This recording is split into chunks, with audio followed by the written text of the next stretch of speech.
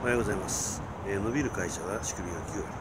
えー PDCA インストーラーの内海です、えー本日は、えー計画に魂を入れるということでお話ししたいま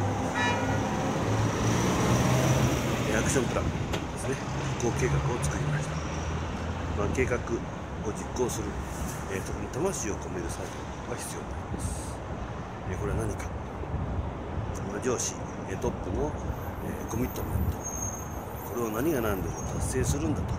いう意思の表明です、えー上司も当然怖いかと思います。しかし、えー全社員部下の前で、えーこの計画を何が何でもいつまでに達成するということを宣言することで計画に魂が込まれます。そして動き始めます、えー計画進捗状況については、えー見える化しています。例えばうまくいってもうまくいかなくても、えー部下まあ、どうせ見せるんだったら初めから宣言しておきましょう。ということです。